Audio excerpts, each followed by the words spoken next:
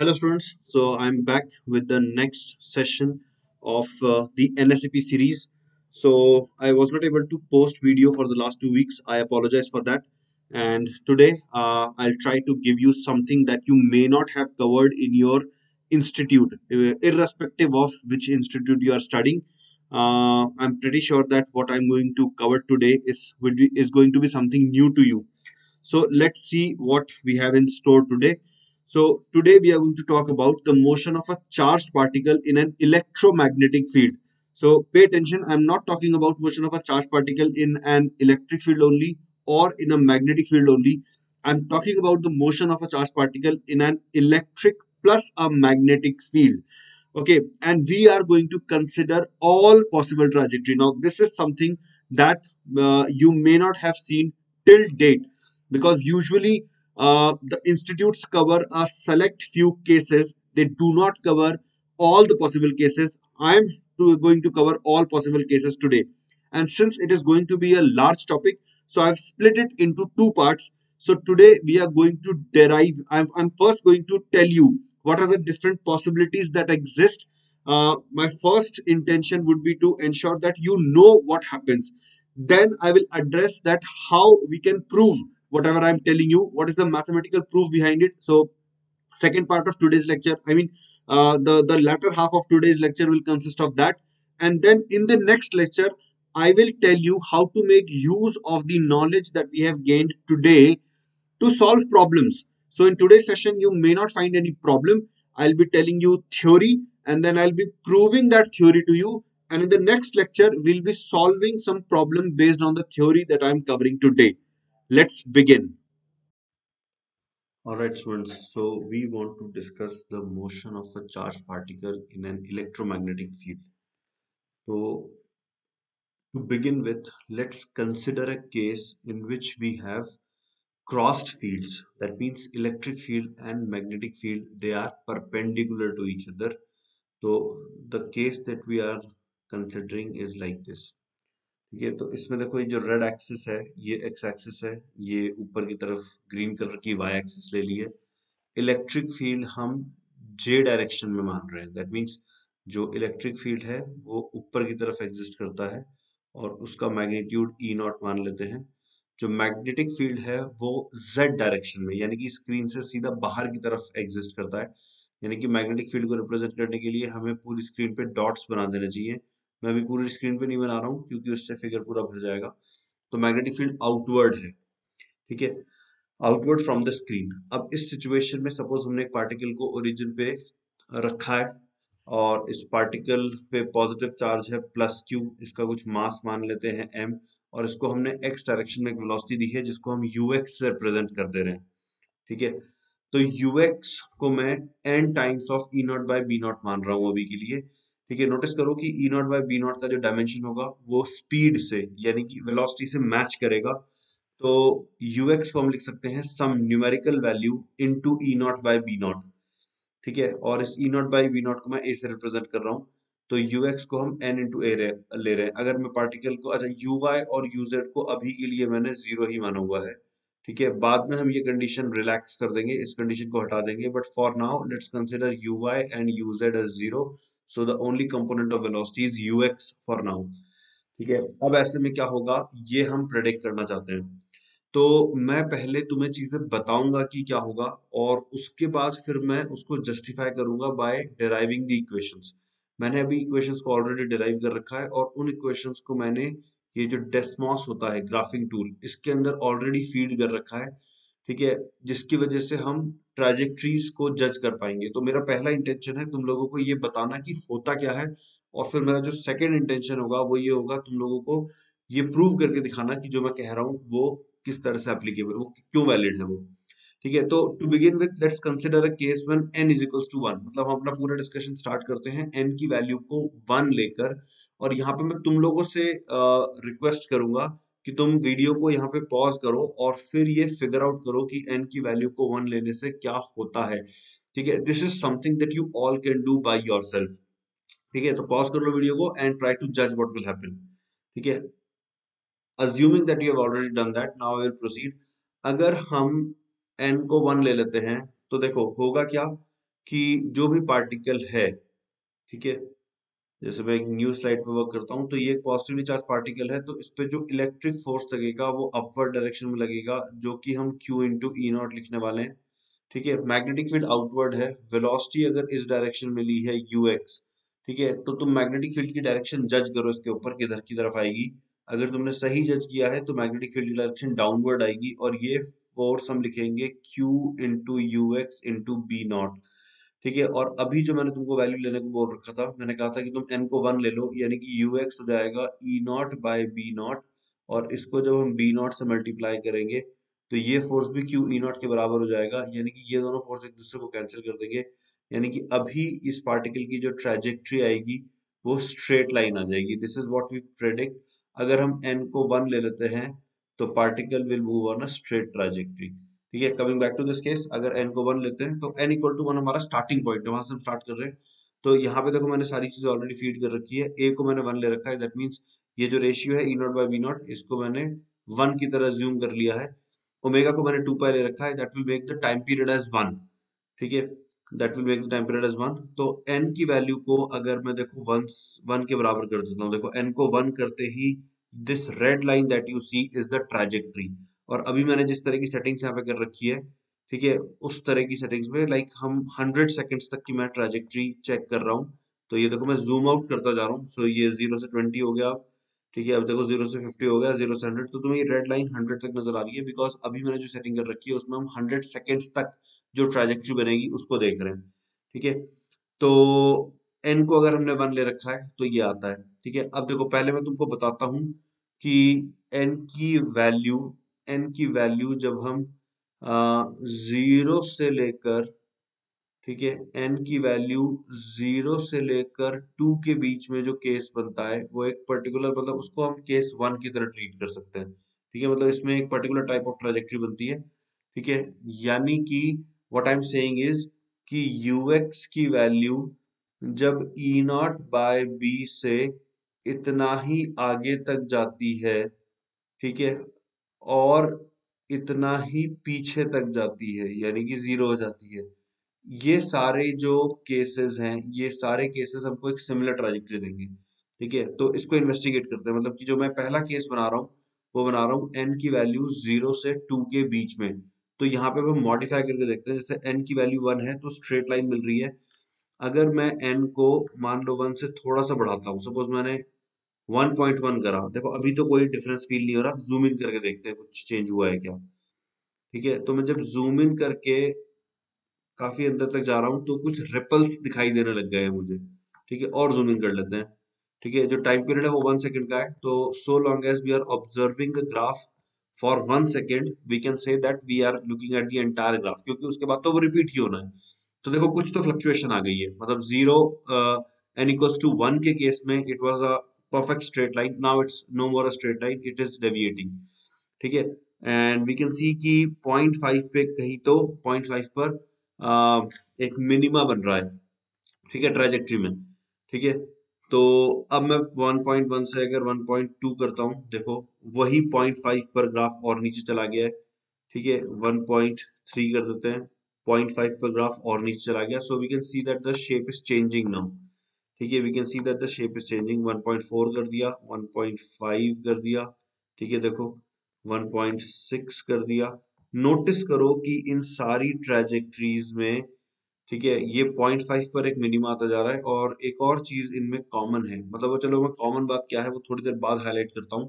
पहला हम टास्क रखते हैं एन की वैल्यू ज़ीरो से लेके टू के बीच में जब हम वेरी करें तो ट्रेजेक्ट्री बन कैसे रही है, पहले ये ऑब्ज़र्व करते हैं। और इसको भी दो पार्ट में करते हैं। पहले वन से टू तक जाते हैं, फिर वन से ज़ीरो तक जाएँगे। अभी मैं वन से टू वाली जर्नी में हूँ। वन पॉइंट सिक्स तक हम पहुँच चुके हैं। ठीक है, अब वन पॉइंट सेवन हो गया। ठीक है तो basically when I am saying कि मैं एन बढ़ाता जा रहा हूँ तो फ़िज़िकल वर्ल्ड में हम क्या कर रहे हैं? ठीक है फ़िज़िकल वर्ल्ड में what I am saying is कि इसकी स्पीड हम बढ़ाते जा रहे हैं। हमने स्टार्ट करा इसकी स्पीड को E not by B not लेकर। अगर हमने E not by B not लिया होता पार्टिकल स्ट्रेट लाइन में चला जाता।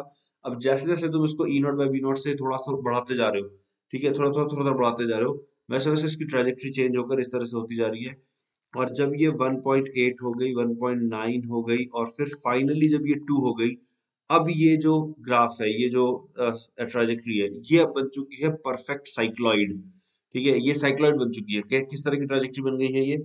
जैसा कि प्योर रोलिंग करते हुए व्हील की पेरिफेरी का एक पॉइंट जिस तरह की ट्राजेक्ट्री बनाता है ये उस तरह की ट्रेजेक्ट्री बन चुका है। तो अब हम एक काम करते हैं, इसकी हम एक स्निपेट ले लेते हैं, ठीक है? इसका एक स्निप ले लेते हैं and let's just paste it here ठीक है? हमारे रिकॉर्ड्स के लिए इसको यहाँ पेस्ट कर देते हैं। तो इस तरह की एक ट्रेजेक्ट्री हमें मिल रही है, ठीक है? यहाँ पे चलो, यहाँ यहाँ ऐसे पेस्ट कर देता हूँ ठीक है? मान लेते हैं एक्स एक्सिस हमने ऊपर शिफ्ट कर दिया, ठीक है? So this is X axis now ठीक है? तो ये इस तरह की ट्राजेक्ट्री बनेगी। अगर हमने ux की वैल्यू को two E naught by B naught रखा होगा तो। और ये है साइक्लॉइड ये है साइक्लॉइडल ट्राजेक्ट्री मतलब कि यहाँ पे भी मान लो एक व्हील होता, ठीक है?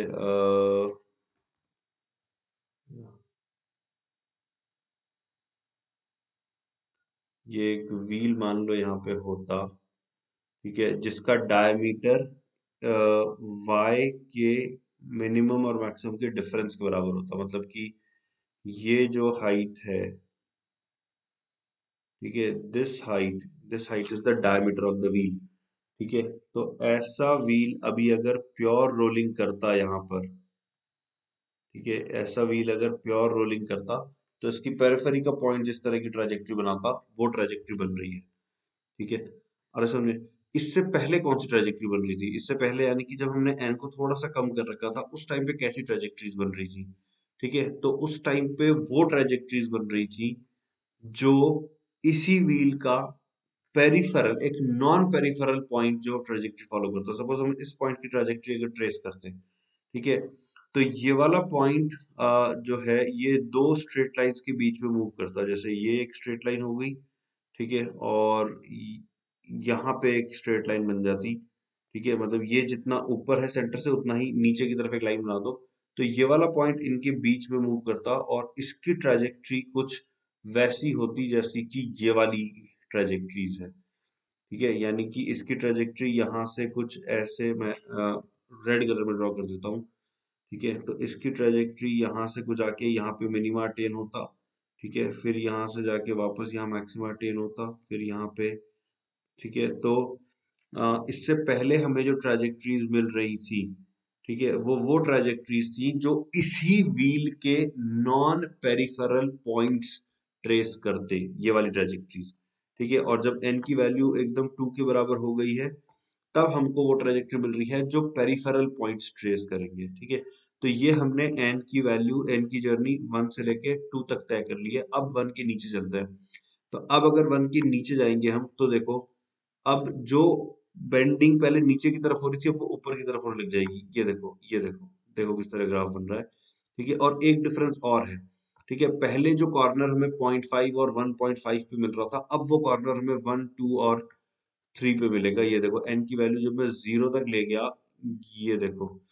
ठीक है तो अब देखो कॉर्नर्स जो हमें मिल रहे हैं तो अभी भी ट्रेजेक्ट्री वही है। ठीक है, ऐसा नहीं है कि ट्रेजेक्ट्री चेंज हो गई है। मतलब नोटिस करो, ये एग्जैक्टली वही ट्रेजेक्ट्री है जो मैंने यहाँ पे बना रखी है। ये वही देखो।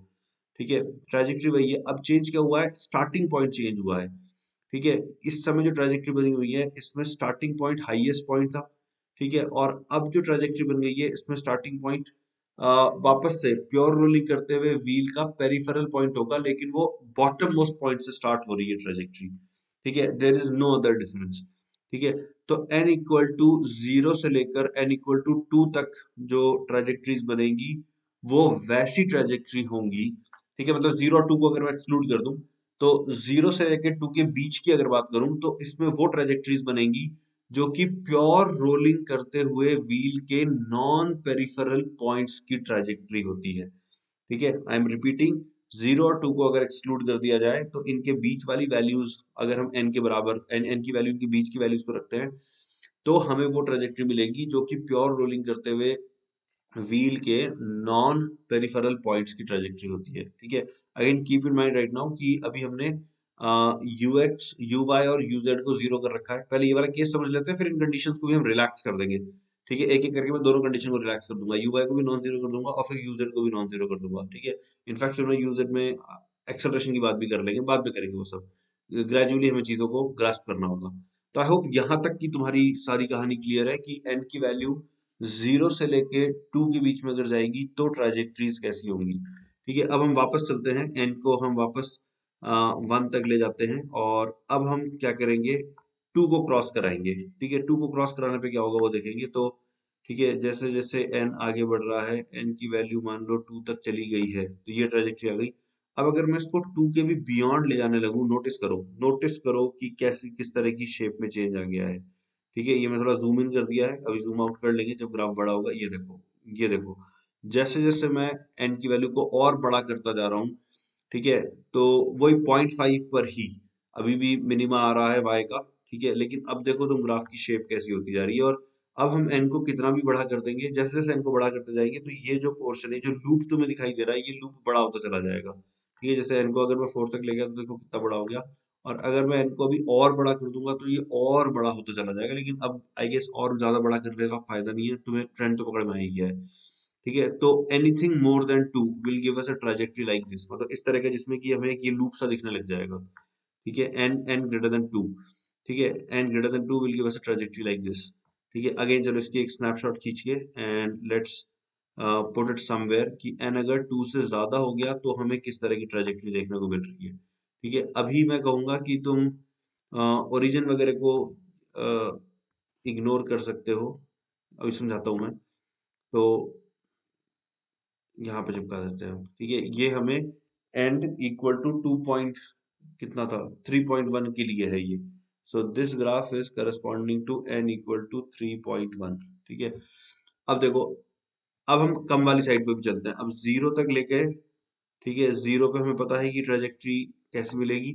और ज़ीरो से और नीचे लेके जाते हैं। अब देखो, इसको अगर मैं और नेगेटिव करता जा रहा हूँ, ठीक है तो नोटिस करो कि जो शेप आ रही है ट्रेजेक्ट्री की that is no different from the one that we got when N was more than two ठीक है, फ़र्क किस बात का है? फ़र्क स्टार्टिंग पॉइंट का है। ठीक है, जैसे अगर मैं इसको यहाँ पे पेस्ट कर देता हूँ, ठीक है तो अब तुम नोटिस करो कि इस ग्राफ में मतलब इस ट्रेजेक्ट्री में, इस ट्रेजेक्ट्री को अगर मैं यहाँ से देखना चालू करूँ, देखो कुछ पार्ट मैंने हाइड कर दिया है, ठीक है? तो यहाँ से देखना चालू करूँ अगर मैं, ठीक है? तो ये एग्जैक्टली exactly इस ट्रेजेक्ट्री से मैच हो जाती है, देखो। यार मतलब कहने का मतलब ये है कि ट्रेजेक्ट्री में डिफरेंस नहीं है, ठीक है? ट्रेजेक्ट्री में डिफरेंस नहीं है स्टार्टिंग पॉइंट का डिफरेंस है, ठीक है? इस केस में स्टार्टिंग पॉइंट जो है, ठीक है? ये देखो स्टार्टिंग पॉइंट से ये ऐसे पीछे की तरफ़ जाके तो ट्रेजेक्ट्री में फ़र्क नहीं है स्टार्टिंग पॉइंट का फ़र्क है। ठीक है? तो अब हम ये कह सकते हैं लाइक अब हम ये कह सकते हैं कि ज़ीरो से लेके टू एन की वैल्यू को ज़ीरो से लेके टू के बीच में रखेंगे तो एक पर्टिकुलर टाइप ऑफ़ ट्रेजेक्ट्री मिलेगी हमें ठीक है? और टू के बियॉन्ड कर देंगे या ज़ीरो से कम कर देंगे तो फिर हमें एक पर्टिकुलर टाइप ऑफ़ प्रोजेक्ट मिलेगी। अच्छा आ, मैं कह रहा हूँ पर्टिकुलर टाइप क्या क्योंकि आइडेंटिफिकेशन है बिल्कुल है। तो एन की वैल्यू जब ज़ीरो और टू ज़ीरो से टू की रेंज के बाहर है तो नोटिस करो नोटिस करो कि देर आर रीजन्स ठीक है, यहाँ पे देखते हैं। देर आर रीजन जहाँ पे की ट्रेजेक्ट्री पे हम वर्टिकल टेंजेंट्स भी ड्रॉ कर पाएँगे। देर आर रीजन्स जिन पे हम ट्रेजेक्ट्री पे वर्टिकल टेंजेंट्स ड्रॉ कर पाएँगे। जैसे ये नोटिस करो, यहाँ पे I be able to draw a vertical tangent which basically means कि इस तरह की जो ट्रेजेक्ट्री है, जिसमें ये लूप इस तरह का लूप बन जाएगा, इस तरह की ट्रेजेक्ट्री में there will be a possibility to get the X component of velocity as zero ठीक है there will be a possibility of जबकि ये वाली जो ट्रेजेक्ट्रीज थी, ये ये वाली जो ट्रेजेक्ट्रीज थी, चाहे ये साइक्लॉइड मान लो इस साइक्लॉइड में भी यहाँ पे मोमेंट्री एक वी एक्स ज़ीरो हुआ था बट ये वाली जो ट्रेजेक्ट्री है, इसमें you will never be able to draw a vertical tangent which means की इन ट्रेजेक्ट्रीज में यू वी एक्स कभी भी ज़ीरो नहीं होता। ठीक है, यानी कि अब मैं ये क्लेम कर रहा हूँ कि जो मैंने केसेस बनाए थे ठीक है, जो मैंने केसेस बनाए थे, उसमें मैंने कहा था कि भाई एन को तुम ज़ीरो और टू के बीच में मान लो, ये केस बन हो गया हमारा। तो इस केस की पहचान ये है कि V X is never equal to zero ठीक है, फिर एक सेकंड केस हम मान लेते हैं एन की वैल्यू स्पेसिफिकली ज़ीरो और टू के बराबर मान लेते हैं। तो इस केस की पहचान ये है कि इसमें जब वी एक्स ज़ीरो होता है, तब वी वाई भी ज़ीरो हो जाता है। ठीक है साइमल्टेनियसली दोनों एक साथ ज़ीरो हो जाते हैं इसके अंदर, यानी कि पार्टिकल मोमेंटरीली रेस्ट पे आ जाता है। ठीक है? ठीक है? और अब एक तीसरा केस बनाते हैं, जिसमें कि एन या तो लेस देन ज़ीरो है या फिर एन ग्रेटर देन टू है। तो इसके अंदर क्या होगा? वी एक्स जब ज़ीरो होगा, ठीक है तो उस इंस्टेंट पे वी वाई नॉन ज़ीरो होगा। ठीक है?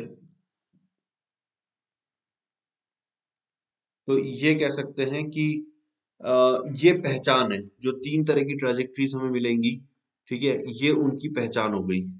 तो आई होप यहाँ तक समझ में आ रहा है तो अब इसके आगे की बात हम करेंगे। नेक्स्ट अब हम कंडीशन रिलैक्स करते हैं। मान लो अगर यू वाई नॉन ज़ीरो होता तो क्या होता, ये अब हम चेक करना चाहते हैं तो उसके लिए let's do one thing let's start observing the case of N equal to zero यानी कि मान लो हमने पार्टिकल को रेस्ट पे छोड़ा होता, ठीक है? तो पार्टिकल इस तरह की ट्रेजेक्ट्री ट्रेस करता, ठीक है? अब इसमें ये नोटिस करो कि चलो मैं एक जनरल केस लेता हूँ पहले पहले एक जनरल केस लेते हैं। सपोज़ एन की वैल्यू 2.4 इस तरह से कुछ ले लेते हैं, ठीक है? तो अब इसके अंदर हम एक पॉइंट नोटिस करते हैं कि ये वाली ट्रेजेक्ट्री हमने यहाँ पे कॉपी कर रखी है। यहाँ पे मैं लिख पाऊँगा तो यहाँ पे बात करते हैं। तो यहाँ से लेकर यहाँ तक का जो रीजन है, इस रीजन में पार्टिकल की जो वेलोसिटी वेक्टर है, वो यहाँ से इस डायरेक्शन में चेंज हो गई। मतलब 90 डिग्री चेंज हो चुकी है। मतलब इधर भी थी, इधर भी थी, इधर भी थी, इधर भी थी, इधर भी थी, और फिर अब वो ऐसे भी हो गई है। ठीक है? और समझे? फिर यहाँ से लेके यहाँ तक और 90 का चेंज हो गया है। ठीक है? फिर यहाँ से लेके यहाँ तक और 90 का चेंज हो गया है, ठीक है? और फिर यहाँ से लेके यहाँ तक यहाँ से लेके पूरा यहाँ तक और 90 का चेंज हो गया ठीक है? तो कहने का मतलब ये है what I want to say is this कि सपोज़ हमने x कंपोनेंट मान लो एक नॉन ज़ीरो वैल्यू रखी है, ठीक है? या चलो ज़ीरो वैल्यू से स्टार्ट करते हैं। यूएक्स को हमने ज़ीरो रखा था सपोज़ और but U Y non zero था यू वाई नॉन ज़ीरो था। तो यूएक्स ज़ीरो था यू वाई नॉन ज़ीरो था तो ऐसे केस के अंदर देखो, क्योंकि यूएक्स ज़ीरो है यू वाई नॉन ज़ीरो है तो ये वाली पोजीशन ये यहाँ से ग्राफ स्टार्ट हो जाएगा। ठीक है? मतलब कि ट्रेजेक्ट्री हमें इसी तरह की मिल जाएगी। ठीक है? प्योर साइक्लाइड नहीं मिलेगा क्या? ऐसी वाली ट्रेजेक्ट्री नहीं मिलेगी क्या? नहीं, क्योंकि ऐसे वाली ट्रेजेक्ट्री में जिस इंस्टेंट पे यू एक्स ज़ीरो होता है, उस इंस्टेंट पे वाई कंपोनेंट ऑफ़ वेलोसिटी भी ज़ीरो होता है। यहाँ पे जब एक्स ज़ीरो है तो वाई नॉन ज़ीरो है तो ये वाली ट्रेजेक्ट्री तो रूल आउट हो गई। अब अगर ये वाली रूल आउट हो गई है ठीक है तो देर आर टू पॉसिबिलिटीज एक पॉसिबिलिटी ये वाली ट्रेजेक्ट्री की थी और दूसरी वाली पॉसिबिलिटी ये वाली ट्रेजेक्ट्री की थी. तो ये वाली ट्रेजेक्ट्री में X component never become zero तो ये भी रूल आउट हो गई है ठीक है? तो अगर मैं कह रहा हूँ कि x component initially x component zero है और y कंपोनेंट नॉन ज़ीरो है ठीक है? The only possibility is a trajectory like this ठीक है? इसमें भी, भी कुछ कुछ चीज़ें बाकी है गई इसमें जैसे करूँगा मैं और भी बात करूँगा इसमें कि हाउ डू वी नो कि पार्टिकल ऐसे ही जाएगा? ठीक है मतलब किसी और डायरेक्शन में क्यों नहीं जा रहा है?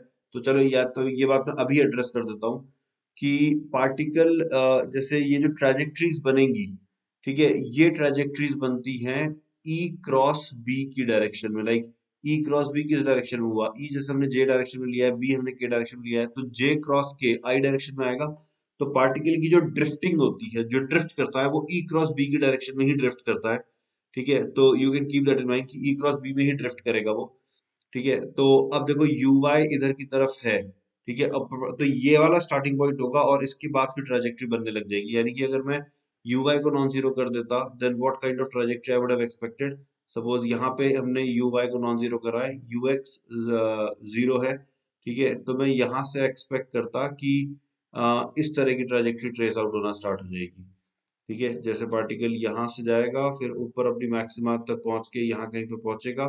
ठीक है? और यहाँ पे, यहाँ से फिर यूँ घूम के फिर यूँ आएगा और फिर ऐसे इस तरह की ट्राजेक्ट्री में एक्सपेक्ट करता। ठीक है? अगर हम मान लो यूएक्स को ज़ीरो रख के यू वाई को नीचे की तरफ़ करते, ऊपर की तरफ़ ना करके, ठीक है? तो यहाँ से ट्राजेक्ट्री स्टार्ट होती। ये स्टार्टिंग पॉइंट बनता उस केस में। यानी कि उस केस में ऐसा कुछ होता कि यहाँ से स्टार्ट करके ऐसे जाता और फिर यू रिपीट होता, ऐसे। ठीक है? तो यूएक्स अगर ज़ीरो है और यू वाई नॉन ज़ीरो है तो ट्राजेक्ट्रीज ट्राजेक्ट्री फिक्स्ड है ट्राजेक्ट्री ये वाली ट्राजेक्ट्री बनेगी। बस स्टार्टिंग पॉइंट्स चेंज होते रहेंगे। ठीक है? अब सवाल आता है कि what if U X is also non zero तो देखो यू वाई और यूएक्स अगर दोनों नॉन ज़ीरो है तो वेलोसिटी इधर कहीं पे आ जाएगी। ठीक है? आ रहा समझे तो उस केस में आ, उस केस में ऐसा हो सकता है कि आ, या इस वाले रीजन में से कोई पॉइंट स्टार्टिंग पॉइंट बने। यहाँ से लेके यहाँ तक का जो रीजन है उसमें से कोई पॉइंट स्टार्टिंग पॉइंट बने। और अब हम आ, अभी हम इन तीनों में से कौन सी ट्रेजेक्ट्री होगी वो रूल आउट नहीं कर सकते। इन तीनों में से कोई सी भी हो सकती है। ठीक है? इन तीनों में से कोई सी भी ट्रेजेक्ट्री हो सकती है ये अभी हमें फिगर आउट करना पड़ेगा कि कौन सी होगी।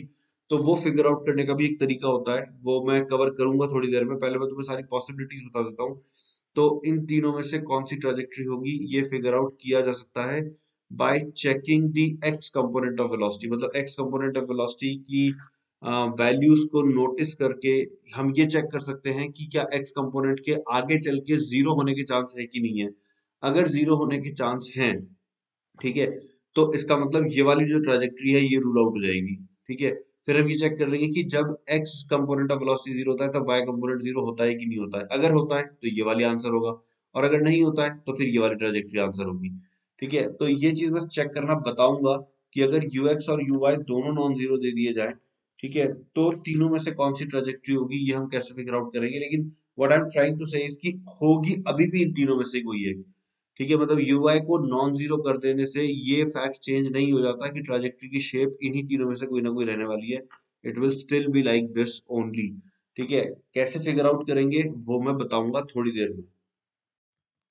सो so, अब हम ये देखते हैं कि जिस केस में यू वाई नॉन ज़ीरो होगा उस केस में और मान लो यू एक्स भी नॉन ज़ीरो होगा अगर दोनों नॉन ज़ीरो होंगे तो तीनों में से कौन सी ट्रेजेक्ट्री होगी ये हम कैसे फिगर आउट करते हैं अब मैं ये बताता हूँ। तो ये चेक करने के लिए, ये पता लगाने के लिए what you have to do is you have to check the value of root of U X square plus U Y square ठीक है? यहाँ पे यू जेड ज़ीरो है या नॉन ज़ीरो फ़र्क नहीं पड़ रहा है। अभी हमने ज़ीरो ले रखा है पर अगर वो नॉन ज़ीरो भी होता तो भी एक्सप्रेशन यही रहता। ठीक है?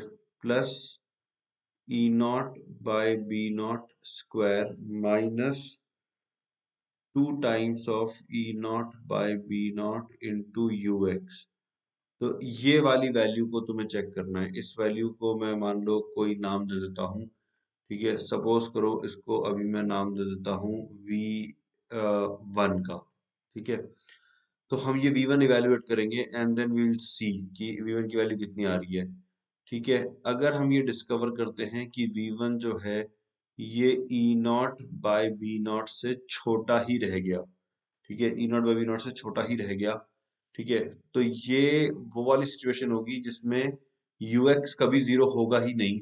यानी कि इसमें we can expect a trajectory like this this one ठीक है? ये वाली ट्रेजेक्ट्री एक्सपेक्ट करेंगे। यानी कि जिसमें कि यू एक्स कभी ज़ीरो नहीं होता वी एक्स कभी ज़ीरो नहीं होता।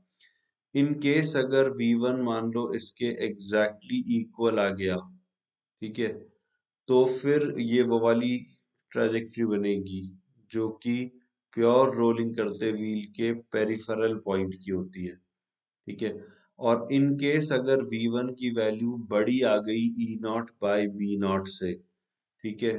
तो फिर ये वाली ट्रेजेक्ट्री बनेगी।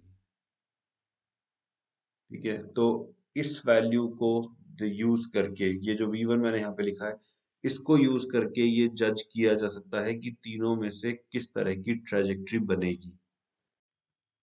अब हम बात करते हैं दूसरी कंडीशन को भी रिलैक्स करने की। कौन सी दूसरी कंडीशन हमने जैसे यू जेड को भी ज़ीरो ले रखा था। अब अगर यू जेड को भी मैं नॉन ज़ीरो कर दूँगा तो क्या होगा वो देखते हैं। तो इन्हीं केसेस के अंदर मान लेते हैं यू जेड को हम नॉन ज़ीरो करना चाहते हैं। ठीक है? तो एक पॉइंट ध्यान देने की ये है। जैसे हमने यहाँ पे फोर्सेस की बात करी थी। तो नोटिस करो कि मैग्नेटिक फोर्स जो है, क्योंकि मैग्नेटिक फ़ील्ड जेड डायरेक्शन में है तो magnetic force can never be in Z direction ठीक है? इसी तरह से इलेक्ट्रिक फ़ील्ड वाई डायरेक्शन में है तो इलेक्ट्रिक फ़ील्ड इलेक्ट्रिक फोर्स भी वाई के अलॉन्ग ही होगा। यानी कि जेड डायरेक्शन में ना तो इलेक्ट्रिक फ़ील्ड इलेक्ट्रिक फोर्स का कंपोनेंट आएगा, ना मैग्नेटिक फोर्स का कंपोनेंट आएगा।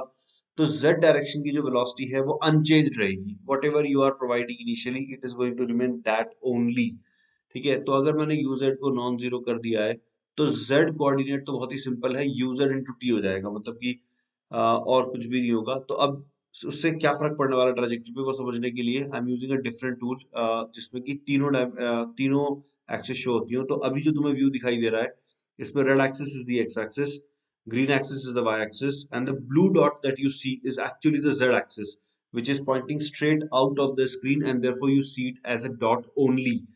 ठीक है? तो अभी जो मैंने सेटिंग कर रखी है, देखो एन को मैंने 2.7 कर रखा है, ठीक है? n इक्वल टू 2.7 के करस्पॉन्डिंग हम इसी तरह का ग्राफ एक्सपेक्ट करेंगे। सपोज़ n को हम कम करके 2 कर देते हैं तो देखो, इस तरह का ग्राफ ये 1.8 हो गया, इसको 2 करते हैं, ठीक है? तो एन इक्वल टू टू के करस्पॉन्डिंग इस तरह का ग्राफ आ जाएगा, ठीक है? ग्राफ गाइस ये वाला जो टूल है, ये उतना इजीली इसके अंदर जूम इन जूम आउट करना पॉसिबल नहीं होता, इसलिए what is there let's just work with that तो एन इक्वल टू टू के करस्पॉन्डिंग ये वाला ग्राफ बन गया, ठीक है? यहाँ पे सी क्या रिप्रेजेंट कर रहा है? सी रिप्रेजेंट कर रहा है जेड डायरेक्शन की स्पीड को, जिसको अभी मैंने ज़ीरो माना हुआ है, ठीक है? अब एक काम करते हैं सी में जेड डायरेक्शन की स्पीड को हम चेंज कर देते हैं, देखते हैं ग्राफ पे क्या फ़र्क पड़ता है। देखो, वो मैंने ज़ीरो से अब मैंने उसको वन कर दिया। You don't see any change right you don't see any change ठीक है? और is it there let's pay attention ठीक है? तो उसके लिए हम एक्सपेक्ट कर रहे हैं कि देखो एक्स वाई प्लेन में जो प्रोजेक्शन है मोशन का, वो सेम है, लेकिन जेड डायरेक्शन में मोशन हुआ है। ये देखो ब्लू एक्सिस जो है, ये जेड एक्सिस है। अब हम इसको देख रहे हैं वाई एक्सिस से। हमें एक्स एक्सिस नज़र आ रही है, हमें जेड एक्सिस नज़र आ रही है। ग्रीन एक्सिस वाई एक्सिस थी। ठीक है तो ये देखो, ये जेड डायरेक्शन में मूव किया है। ठीक है let us go back to the view from Z axis once again ठीक है, देखते क्या हुआ। ठीक है? तो मैं वापस से z एक्सिस वाले व्यू पे जा रहा हूँ, ठीक है? तो देखो, जब मैं z एक्सिस वाले व्यू पे जाऊँगा तो ब्लू कलर वाली लाइन मुझे डॉट की फॉर्म में नज़र आएगी। देखो, नज़र आ रही है, ठीक है? तो एक्स वाई प्लेन में जो मोशन होना था, वो अभी भी वैसा ही हो रहा है। बस अब पार्टिकल पैरेलली z डायरेक्शन में भी ट्रेवल कर रहा है, जो कि व्यू फ्रॉम z एक्सिस से परसीव नहीं होगा, ठीक है? Let's turn it once again अब मैं y एक्सिस z एक्सिस से y एक्सिस के व्यू पे जा रहा हूँ। नोटिस करो कि ये जो ग्राफ बना हुआ है ये एक्स वाई प्लेन से बाहर निकलता हुआ ग्राफ है। ये ग्रीन और रेड लाइन का जो प्लेन है that is X Y plane तो देखो ये एक्स वाई प्लेन से बाहर निकलता हुआ ग्राफ है। ठीक है? लेकिन अगर इसको हम फिर से जेड एक्सिस पे जाके देखेंगे, ये देखो तो ये पूरा का पूरा ग्राफ एक्स वाई प्लेन के अंदर लगता है। ठीक है? चलो, इस बात को हाईलाइट करने के लिए मैं सी को वापस ज़ीरो करता हूँ। सी को मैंने फिर से ज़ीरो कर दिया है। ठीक है? ये देखो। अब अगर मैं जेड एक्सिस से व्यू देखता हूँ तो देखते हैं क्या नज़र आएगा। देखो, अब मैं जेड एक्सिस के व्यू पे जा रहा हूँ। ठीक है तो z एक्सिस पे व्यू पे जा रहे हैं we can see that particle is not coming out of the x y plane it is staying in the x y plane only ठीक है ठीक है, ये देखो ये देखो, ये ट्रेजेक्ट्री है z एक्सिस का व्यू हो गया, ये z एक्सिस का व्यू हो गया, ठीक है। अब अगर मैं c को नॉन ज़ीरो कर देता हूँ, ठीक है तो यहाँ से देखने में कुछ फ़र्क होता नहीं चला, लेकिन अगर हम यहाँ पे जाएँगे तो ये देखो, अब ये particle z x y plane से बाहर निकल गया है तो z डायरेक्शन में इसका जो मोशन है, वो यूनिफॉर्म मोशन है।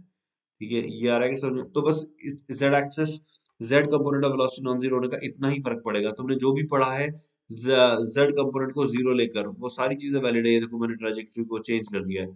ठीक है? तो हमें कोई फ़र्क पता नहीं चल रहा when we are looking from the z axis लेकिन अब अगर मैं y एक्सिस से व्यू को देखूँगा, देखो किस तरह से चेंज हो रहा है। ये देखो।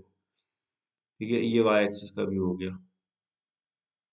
ठीक है परफेक्टली अभी नहीं बैठा है। The green line must appear as a dot to us ठीक है हो नहीं पा रहा गई एनीवेज ऑलमोस्ट हो गया।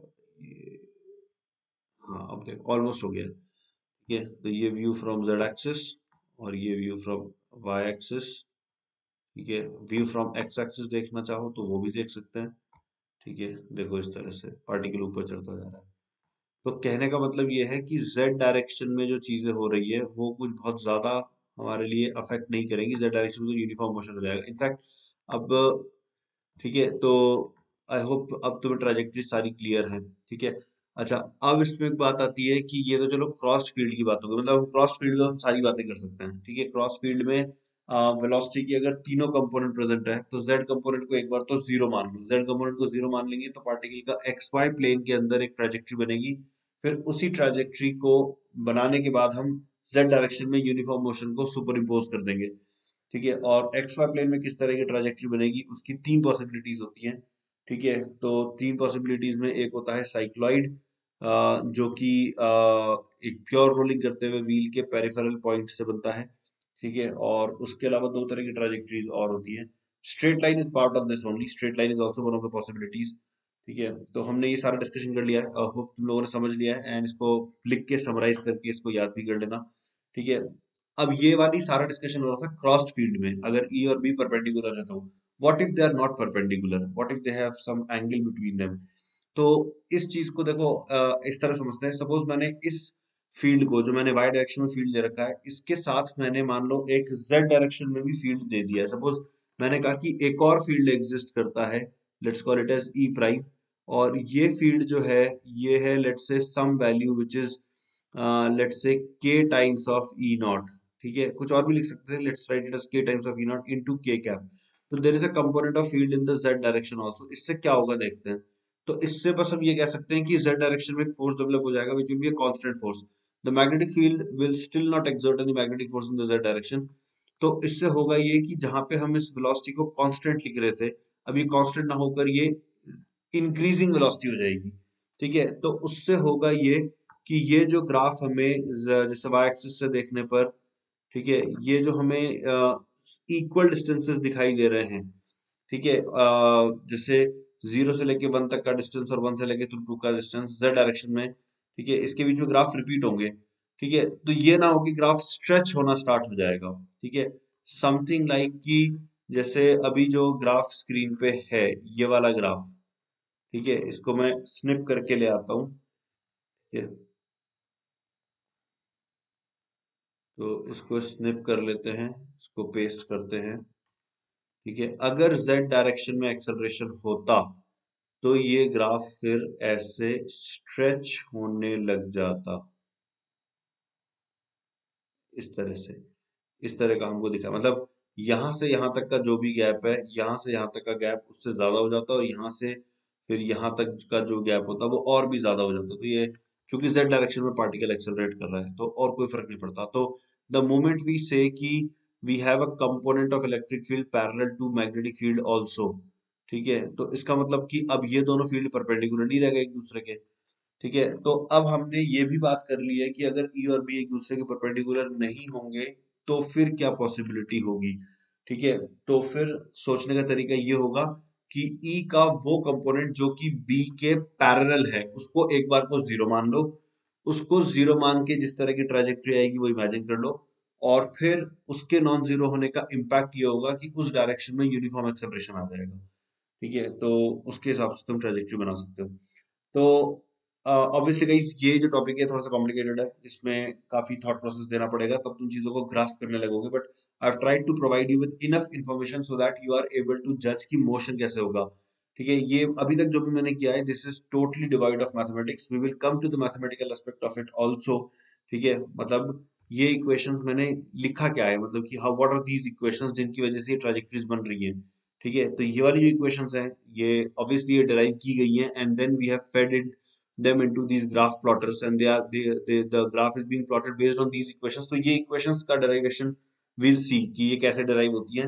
क्योंकि डिराइव होने के बाद इट वाज मैथमेटिकल कि we have equations ready with us if we can plot the graph we will know the trajectory so for that purpose I am using ठीक है? तो आई होप यहाँ तक का सारा डिस्कशन क्लियर है। यहाँ पे गाइस एक बात को समझना अच्छे से कि हम ये कैसे प्रेडिक्ट करेंगे कि ड्रिफ्टिंग किस डायरेक्शन में होगी? ई क्रॉस बी की डायरेक्शन में ड्रिफ्टिंग होगी। ठीक है? अगर ई e और बी के बीच में 90 डिग्री का एंगल नहीं है, कोई और एंगल है तो हमें क्या करना चाहिए? हमें ई e के दो कंपोनेंट बनाने चाहिए। एक कंपोनेंट पैरेलल टू बी और दूसरा component perpendicular to B parallel to B जो कंपोनेंट है, उसको एक बार ज़ीरो मान लो और फिर ट्राजेक्ट्री जो आएगी वो बना लो। और फिर जो पैरल कंपोनेंट है, उसकी वजह से बी वाली डायरेक्शन में, यानी कि बी के along uniform acceleration superimpose कर दो और उससे तुम ट्राजेक्ट्री जज कर पाओगे। ठीक है तो अब हम करते हैं mathematical aspect of this do the maths now.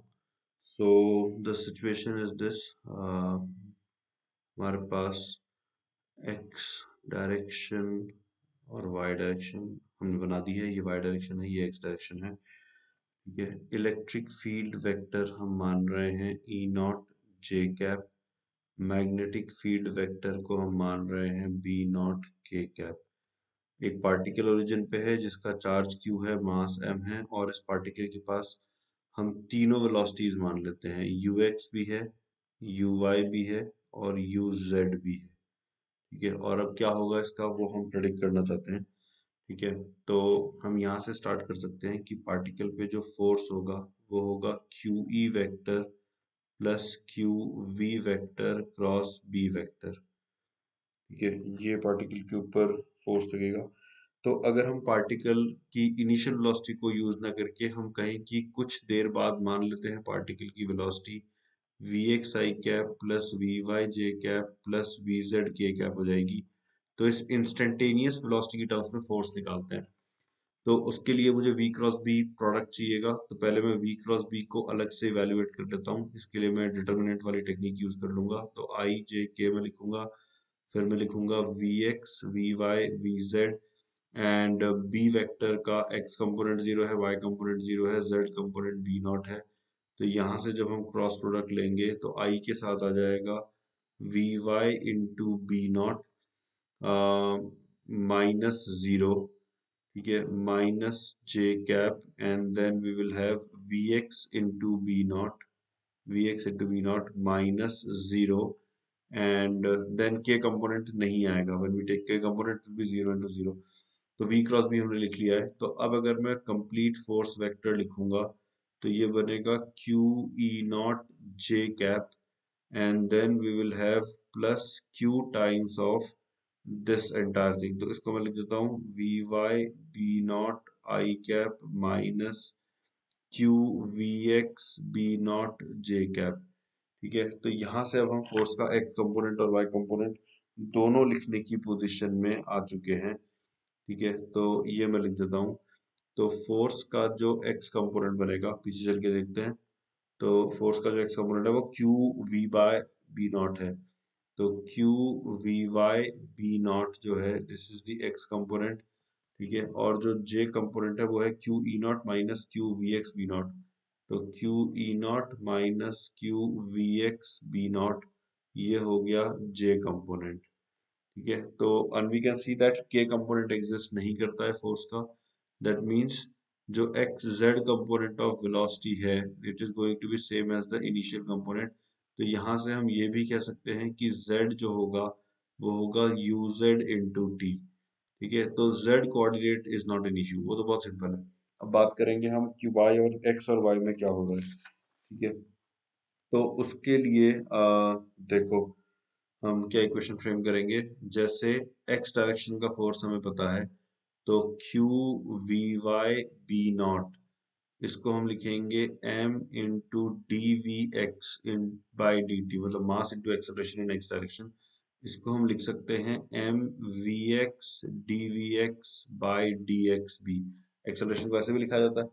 ठीक है तो ये भी लिख सकते हैं। तो let's call this as equation number one ठीक है, या let's call this particular equation as equation number two one actually मैं वाई डायरेक्शन वाली को कहूँगा ठीक है तो एक इक्वेशन ये हो गई। एक की हो जाएगी q E naught minus q v x B naught similar way में लिख देंगे m into d v y by d t या फिर m into v y d v y by d y तो ये हो गई इक्वेशन नंबर वन ठीक है? और एक इक्वेशन हम वर्क एनर्जी थ्योरम से बना सकते हैं, क्योंकि मैग्नेटिक फोर्स चार्ज पार्टिकल पे वर्क नहीं करेगा तो the work done will be because of electric force only which is a constant force so q E into displacement in the direction of this force वो y component y coordinate of the particle हो जाएगा, जो instantaneous coordinate है particle का।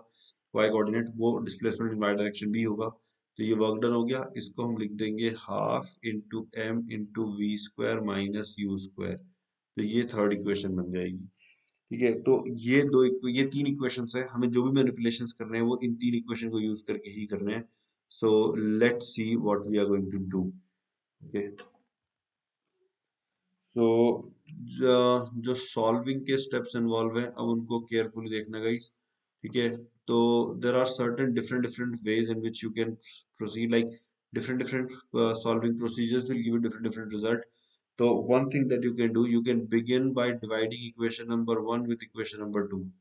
Okay so divide the equation number one. So the left hand side is going to become e naught minus vx b naught divided by vy b naught ठीक है is equals to it will become d v y by d v x ठीक है D D D cancel हो गया M cancel हो गया। तो ये बन जाएगा, अब इसको हम फर्दर सॉल्व करेंगे कैसे? It will become E naught into d v x minus B naught into v x into d v x is equals to B naught into v y into d v y तो अब हम इस equation में जो तीन terms है तीनों को इंटीग्रेट कर सकते हैं। जैसे यहाँ पे इंटीग्रेशन वी एक्स के रेस्पेक्ट में हो रहा है and there is nothing like E naught is a so this is pretty integrable यहाँ पे भी इंटीग्रेशन वी के रेस्पेक्ट में हो रहा है। लकीली यहाँ पे वी ही और कुछ नहीं है वी कैन इंटीग्रेट यहाँ पे इंटीग्रेशन वी के रेस्पेक्ट में हो रहा है। अगेन यहाँ पे केवल वी नज़र आ रहा है तो इंटीग्रेट करना पॉसिबल है। So if I integrate this I will end up with E naught ये हो जाएगा वी uh, एक्स और यहाँ पे जो लिमिट्स आएँगी वो आएगी यू एक्स से लेके वी एक्स तक, ठीक है? माइनस बी नॉट इंटू ये हो जाएगा v x square by two और जो लिमिट्स आएँगी वो आएँगी यू एक्स से लेके वी एक्स तक, और ये बन जाएगा B naught into v y square by two ठीक है? और वी वाई की जो वैल्यू है वो चेंज होगी यू वाई से लेकर वी वाई तक। ठीक है? तो यहाँ से आ जाएगा E naught is equals to v x minus u x minus B naught by two and then it will become v x square minus u x square is equals to B naught by two and then v y square minus u y square तो इसी को अगर हम rearrange करते हैं तो इसको हम ऐसे लिख सकते हैं that e naught into change in x component of velocity ठीक है this is equals to b naught by two and देखो, ये बन जाएगा v y square plus v x square minus of u x square plus u y square ठीक है? तो ये एक इक्वेशन बन गई। Let's call this equation as equation number four ठीक है? Let's call this equation as equation number four तो ये एक इक्वेशन हमारे पास बन गई है। uh, आगे देखते हैं अब हम कैसे सॉल्व करेंगे। तो नेक्स्ट स्टेप हम ये कर सकते हैं कि use equation three in four ठीक है? इक्वेशन थ्री जो हुआ करे जिस थ्योरम से लिखी हुई थी वो है। तो वो जब हम करेंगे ठीक है? तो it will become two e naught by b naught ठीक है? Let's come back to this equation तो ये टू इधर आ जाएगा, बी नॉट इधर आ जाएगा। तो two e naught by b naught into delta v x, that means v x minus u x is equals to, ये देखो, ये बी, ये टू बी नॉट, ये हम दूसरी तरफ़ ले गए हैं, ठीक है? तो v x square plus v y square minus तो इस चीज़ को हम कैसे लिख सकते हैं? देखो, यहाँ पे ये नोटिस करो कि वी जेड वी जेड और यू जेड तो सेम ही है तो this might be written as v square minus u square also और ये वाली वैल्यू मैं क्वेश्चन नंबर थ्री से पिक कर रहा हूँ। तो ये वाली वैल्यू जब हम इक्वेशन नंबर थ्री से पिक करेंगे तो ये बन जाएगा कितना? Q e naught y into two by m equation number three से मैंने वैल्यू पिक कर ली है। तो यहाँ से अब देखो ई नॉट कैंसिल हो जाएगा, ठीक है? टू कैंसिल हो जाएगा, ठीक है? तो यहाँ से v x minus u x की जो वैल्यू आएगी, ये आ जाएगी q b naught by m into y देख लो। तो वी एक्स की जो वैल्यू आ रही है, ये आ जाएगी q b naught by m into y plus u x मतलब जो एक्स कंपोनेंट ऑफ़ वेलोसिटी है, इसको हमने वाई कोऑर्डिनेट से रिलेट कर दिया है।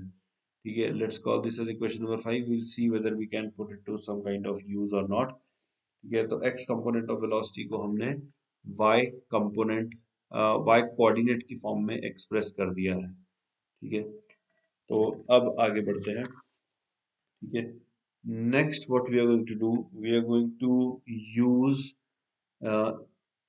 equation number five in equation number one okay तो पुट फाइव इन वन तो इससे हमें क्या मिलेगा? इससे हमें मिलेगा क्यू ई नॉट ठीक है माइनस क्यू बी यहाँ पे वी एक्स था इक्वेशन नंबर वन के अंदर तो वी एक्स की जगह पे आ जाएगा q b naught by m into y plus u x is equals to m into d square y by t x d t square ठीक है? ये एक्सेलरेशन डायरेक्शन हो गया। This will become what? This will become uh, q e naught by m ठीक है? Minus q b naught by m into u x is equals to d square y by d t square plus q b naught by m whole square into y.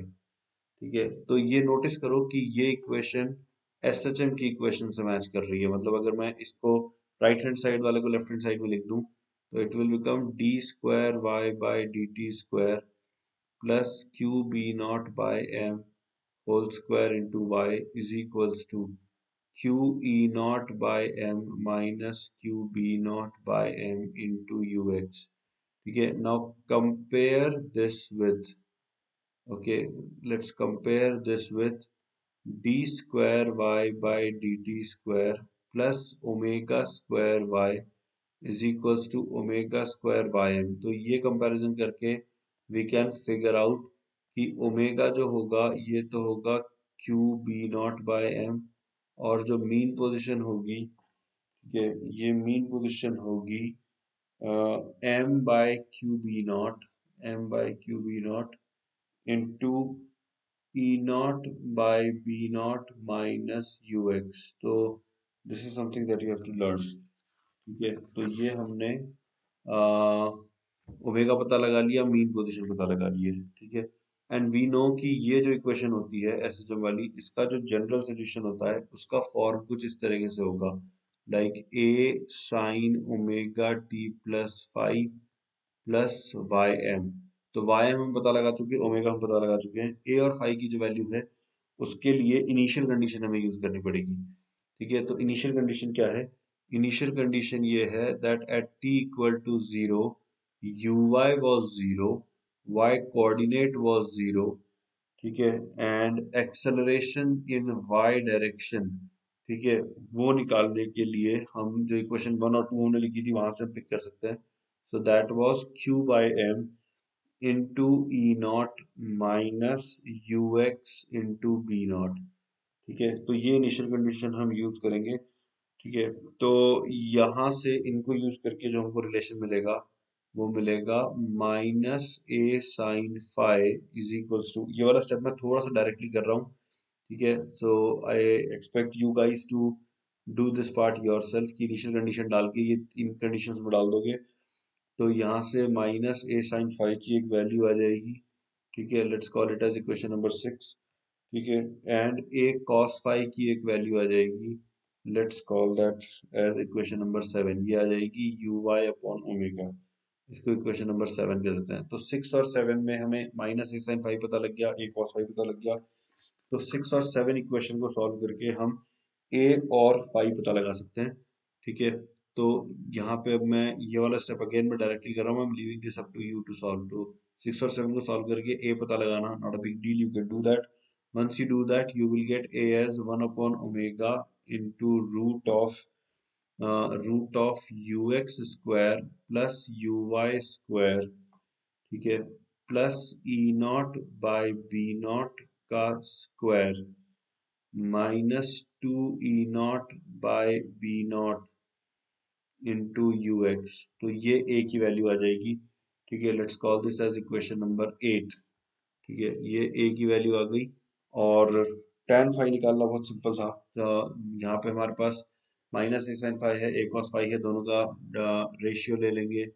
ठीक है तो ten five की जो value आएगी ये आएगी u x minus e naught by v naught divided by u y ठीक है? So let's call this as equation number nine तो ए हमें पता लग गया फाइव हमें पता लग गया। That means we are now in complete position to write y ठीक है? Y हम वापस से लिखता हूँ। Y हमने माना था a sine omega t plus phi plus y m so we have everything now we have a we have omega we have y m we have phi तो ये हो जाएगा one upon omega into root of, अभी जो मैंने एक expression लिखा था उसी को रिपीट कर रहा हूँ u x square plus u y square plus e naught by b naught square minus 2 times of e naught by b naught into ux ठीक है then we will write sine of omega into t plus phi phi हम यहाँ से निकाल लेंगे। ठीक है plus one upon omega into e naught by b naught ये मैं वाई एम की वैल्यू लिख रहा हूँ माइनस यू एक्स ठीक है? ऑफकोर्स तुम्हें इतना लंबा एक्सप्रेशन याद रखने की ज़रूरत नहीं है, तुम ये याद रख लो कि वाई को हमें ये लिखना होता है ए का एक्सप्रेशन क्या होता है, वो याद रख लो, ठीक है? But anyways let's call this as equation number ten ठीक है? ये जो इक्वेशन है, ठीक है? So this equation gives me the value of y coordinate so let's call it as equation number 10 so this is one of the equations that I have used while frame while forming the graphs ठीक है तो ये हमको y coordinate मिल गया है ठीक है अब x coordinate निकालने के लिए इक्वेशन नंबर 10 को 2 में यूज़ करो ठीक है so for finding x coordinate as a function of time we will use equation number 10 in equation number 2 you can go back and check what is equation number 2 ठीक है? तो again guys यहाँ पे मैं थोड़ा सा डायरेक्टली लिख देता हूँ। ठीक है? ये चलो मैं कर देता हूँ कैलकुलेशन कर देता हूँ। ठीक है? तो इक्वेशन नंबर टू में हम लिखेंगे क्यू बी नॉट ठीक है? And then v y was here तो वी वाई हम निकाल लेंगे वाई हमारे पास है तो वी वाई हम निकाल सकते हैं। तो वी वाई आ जाएगा a into omega into cos of omega t plus phi ठीक है, और ये इक्वल आएगा m into second derivative of x के इक्वल ये आ जाएगा। ठीक है तो यहाँ से हम निकाल सकते हैं फ़र्स्ट डेरिवेटिव ऑफ़ x मतलब एक बार इंटीग्रेट करेंगे तो ये आ जाएगा। तो ये बनेगा a omega square a omega square into sine of omega t plus phi ठीक है डिवाइडेड बाय ओमेगा ठीक है plus c one where c one is the constant of integration तो यानी कि जो वी एक्स है वी एक्स की वैल्यू आ जाएगी a omega sine of omega t plus phi plus c one और सी वन निकालने के लिए हम इनिशियल कंडीशन का यूज़ कर लेंगे। क्या है वो इनिशियल कंडीशन वो इनिशियल कंडीशन ये है that at t equals to zero at t equals to zero ux uh, vx was equals to ux ठीक है v x was was to u x तो इसको अगर मैं यूज़ करता हूँ, ठीक है तो हम लिखेंगे, इसमें लिखेंगे ux is equals to a omega and sine phi plus c one ठीक है तो यहाँ से सी वन की वैल्यू कितनी आ जाएगी? यहाँ से सी वन की वैल्यू आ जाएगी u x minus a omega sine phi अब ए साइन फाइव की वैल्यू हमने यहाँ पे लिखी थी। ए साइन फाइव तो उसको सब्सिट्यूट कर देंगे। ठीक है तो सब्सिट्यूट करके सॉल्व करने के बाद ये बच जाता है e naught by b naught. तो ये तुम सॉल्व करके देखो। ठीक है so we are now in a position to write v x okay इसको इक्वेशन नंबर 11 कह देते हैं? We later use it so for referencing purpose let's call it as equation number 11 ठीक है? तो अब इक्वेशन नंबर 11 में जब हम वैल्यूज़ डालेंगे तो हमें वी एक्स जो मिलेगा, वो मिलेगा a omega sine a omega sine omega t plus five ठीक है? Plus e naught by b naught of course guys ये सारी कैलकुलेशन तुम लोगों को खुद करनी चाहिए। मैं यहाँ पे इसलिए डाल रहा हूँ so that it is on record like it is readily available to you guys whenever you want to check some kind of uh, mistake if you have done so you can come here and check अच्छा इसी में अब हम x integrate करके x की value निकाल लेंगे ठीक है तो after integration the x that we get is minus a cos omega t plus five ठीक है plus E naught by B naught into T plus another constant of integration. And to find the value of this constant of integration, we will use at T equal to 0, X was 0. So using this, uh, we get the value of C2 as Uy by omega. ठीक है uh, ये a a cos five के बराबर आ जाएगा तो a cos five की value ये आ जाएगी ठीक है so now we will get x as uh, a cos cos t plus phi ठीक है plus e naught by b naught into t plus a cos five ठीक है so this will become your expression of x तो अब देखा जाए तो we have x as a function of time in equation number thirteen ठीक है and we have y as a function of time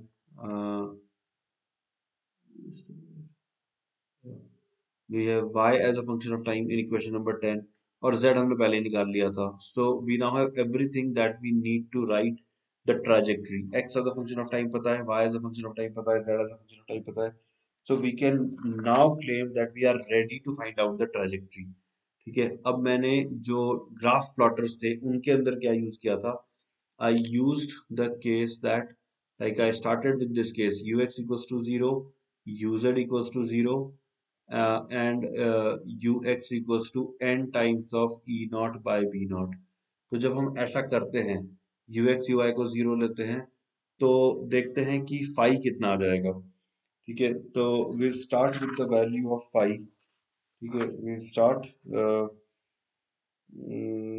or let's start with the amplitude so the amplitude that we are going to get okay this amplitude will be 1 upon omega into e naught by b naught into n minus 1 okay mod of n minus 1 actually.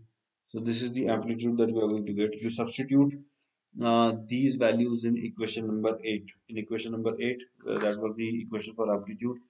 Okay and uh, from equation number 7 from equation number 7 we will get a cos phi equal to 0 which means phi will either be equal to pi by 2 or it can be taken as minus pi by 2 we need not consider other possibilities because uh, we have considered the entire range of 0 to 2 pi.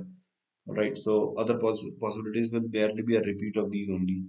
Okay now from equation 8 from equation 8 uh, I think this amplitude equation was a different from it uh, some other because equation number 8 gives us the value of minus a sine phi okay? And it gives us the value as e naught by omega b naught into 1 minus n okay? So this means that um, like we, we can form two cases now. We can form two cases that if n is greater than 1 if n is greater than 1 then phi will come out to be pi by 2 okay and if n is less than 1 then phi will be minus pi by 2 okay but in any case uh, if we make uh, like different different cases also okay if we make different different cases and we write like we start solving for two different cases n greater than 1 and n less than 1 and then we write the value of y and then we write the value of x. In both the cases after doing the math you will realize that you end up with the same expression. Okay i'm leaving this part to you guys. You can do that. You can you know if you are feeling lethargic you can just proceed by assuming n greater than 1 you will end up with something. You can ask your friend to solve by assuming n is less than 1 and you should end up with the same equation and that equation will be what I'm going to write now. So it will be E naught by omega B naught and then 1 minus n n or eta into 1 minus cos omega t. That will be the value of y and x that you are going to get it will be E naught by omega B naught. Okay and then n minus 1 into sine omega t plus e naught by b naught into t. So these are the two expressions that you are going to get and it is these expressions that I used while framing the graphs and from here only I obtained everything. So now you can check for other things also. For example, if n is 0, uh, if n is equals to 1, that means if uh, the x component of velocity is e naught by b naught, then uh, uh we see that the particle simply keeps on moving in x direction with the uniform velocity. Uh, right. And other things can be figured out. So this was the entire maths. This was the entire maths behind whatever we did. Okay. So it is these equations that i have fed into these calculators. These calculators that you see here. So you see x x component. This whatever is written before this comma. Okay. This is x. So a by omega. A a, by, a was what? A was e naught by b naught so e naught by b naught omega let's check it here. E naught by b naught omega here into n minus 1 okay? So into n minus 1 is v here then sine omega t. So sine omega t plus at all right so this is the x coordinate that i fed into the and then y coordinate let's check that. So after whatever i have written after comma whatever i have written okay? So this part is by coordinate. So a by omega you can see here a by omega 1 minus n 1 minus n into 1 minus cos omega t. So 1 minus cos omega t. So this is what i have fed into the um, calculator uh, and therefore we are getting the trajectory. So i hope guys you have understood the mathematics. Of course uh, now there are few things also that you can do to check. For example uh, we can check the maximum value of y or the minimum value of y or the difference between y max and y min. Okay this is something that you should take note of. So if you calculate this difference you will find that it is too again guys this is not too complicated to calculate. If you have been uh, watching the video till now okay that means you are good enough in calculations to actually finish this also. So calculate this part also. The uh, it may be a relevant parameter to solve in some questions so with that guys i hope you have understood everything. I've already told you what are the different cases what are the different kinds of trajectory that you can get and how to check which trajectory will be obtained when. And now i've given you how i arrived at all those conclusions. So with that uh, guys i will finish the academic part of this lecture here. I hope you enjoyed this lecture guys. Take care. So students, hopefully you enjoyed today's session. Uh, today's session was a bit uh, high on mathematical aspects, on mathematical theory. I hope you understood everything of that. If not, uh, revise the video, uh, watch the video again, do the math yourself and uh, definitely watch the session of the next week because there I'll be solving some problems and you'll be able to understand how to solve problems. Uh, apart from that, if you haven't heard about Eclave yet, please Google it this is a YouTube channel where we post uh, video solutions of previous year JEE papers and KVPY papers. So it's basically kind of a content repository. Please make use of this by subscribing to this channel. And uh, this is the notice board where we uh, put the information of all the batches that are launched by Team Eclave. You may want to be a part of this batch. On that note, I'll bid farewell to you for today. I'll see you next week. Take care, students. Bye-bye.